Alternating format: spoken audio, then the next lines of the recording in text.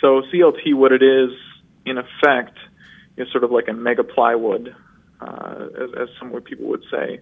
What you use is uh, ordinary dimensional lumber, things like two by four pine, uh, so nothing nothing exotic.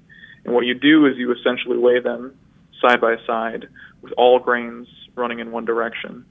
They put down a layer of glue and then another ply of two by fours. Each time they put down a ply of two by four, they alternate the lamination direction, the direction of the boards.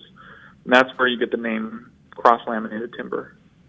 So in doing that, it, it serves a few very important uh, functions. But one of the most important functions is that it's sort of self-restraining for moisture effects.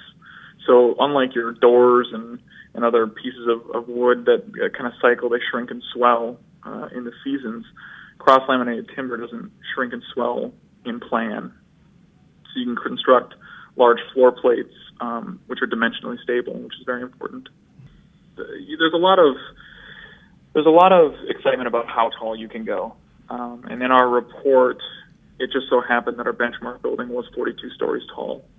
But the objective is really to show that it can work for a tall building that, that covers a high percentage of available buildings.